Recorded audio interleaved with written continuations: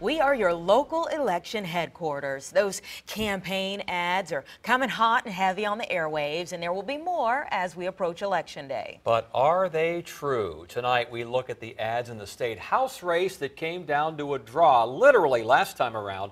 Then at your side's Andy Fox joins us with tonight's Truth Tracker. Andy? Tom and Anita, we are tracking the truth in that race from 2017 where both candidates tied. Talk about the saying, your vote does count. Both candidates had 11,608 votes, a draw by chance to determine the winner, which was the incumbent Republican David Yancey.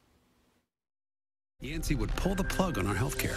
David, are you for pulling the plug on health care? No, not at all. Democrat Shelly Simonds' ad claims Delegate David Yancey voted four times against coverage for 400,000 Virginians. That is true. Yancey, like other General Assembly Republicans, voted against Medicaid expansion. Think of all the hundreds of thousands of people that didn't qualify for health care, that needed health care over those years you know, people were waiting uh, for health care that didn't get it because of his vote.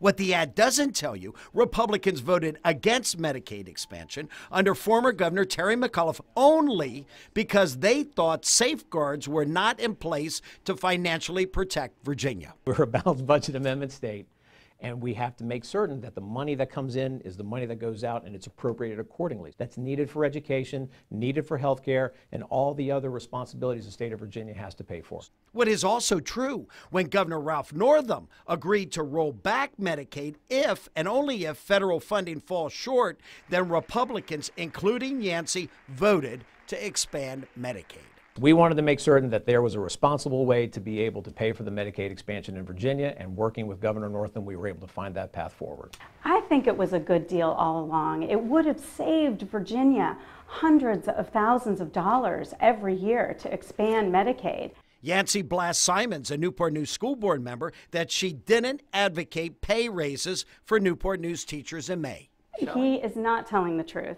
Truth Tracker finds it false for Yancey to suggest Simonds doesn't support pay raises for teachers. Every single budget, I have voted for teacher pay raises. She says what you've said here is false. I'm glad she's in favor of teacher pay raises, and I wish she had gone down there and she had joined me to stand up in support of teachers.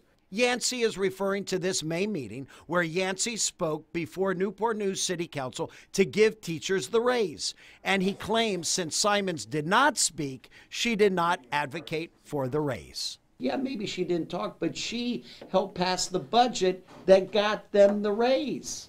I also helped to pass the budget that got them the raise, but I went down there and I stood up for the teachers. But I didn't need to stand up because the budget spoke for me. I had already voted for the teacher pay raise, and our budget was being presented at that city council meeting.